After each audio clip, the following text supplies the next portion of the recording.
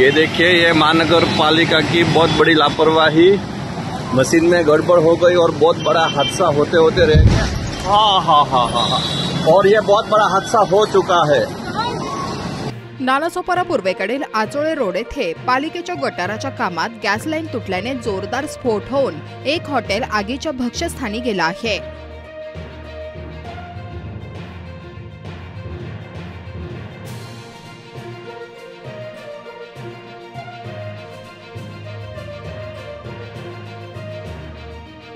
यात हॉटेलमधील चार कर्मचारी जखमी झाले असून एकाची प्रकृती चिंताजनक आहे.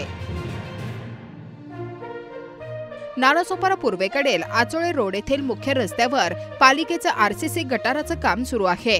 आज दुपारी साडेतीनच्या सुमारास जेसीबीच्या सहाय्याने खड्डा खोदत असताना ठेकेदाराच्या निष्काळजीपणामुळे तेथूनच गेलेली गॅस पाईप तुटली आणि त्यामुळे गॅसने पेट घेऊन जवळच असलेल्या हॉटेलला आगीच्या कचाट्यात घेतलं. जवळच एमएससीबीचा ट्रान्सफॉर्मरला ही आग लागल्याने काही वायरी या रस्त्यावर पडल्या. त्यामुळे नागरिकांनी तत्काळ येथील रस्ता बंद केला. या आगीत सुंदर शेट्टे वय वर्ष बासष्ट गोपाळ बांगेरा वय वर्ष सत्तर चंद्रमाकर वय वर्ष पंचेचाळीस राजकुमार शहा वय वर्ष सत्तावीस असे चार हॉटेलचे कर्मचारी जखमी झाले आहेत. यातील गोपाळ बांगेरा हा जास्त भाजला आहे.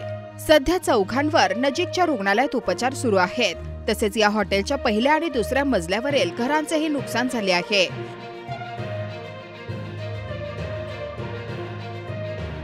स्वप्नील बांदेकर शिवसेना उद्धव बाळासाहेब ठाकरेचा तालुका प्रमुख.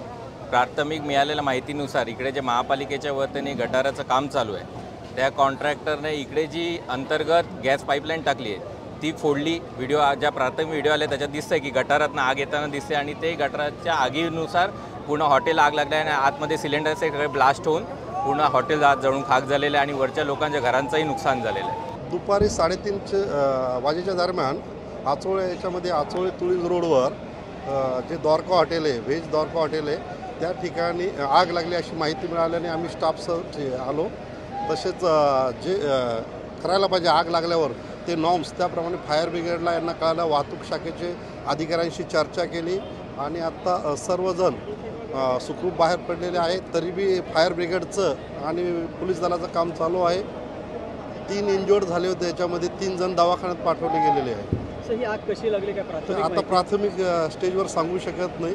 त्याच्या इन इन्क्वायरीमध्ये आहे, प्रत्यक्षदर्शनी आम्हाला अजून हे आलेलं नाही आहे ते समक्ष चौकशीत इन्क्वायरीत येईल त्यावेळेस सांगता येईल.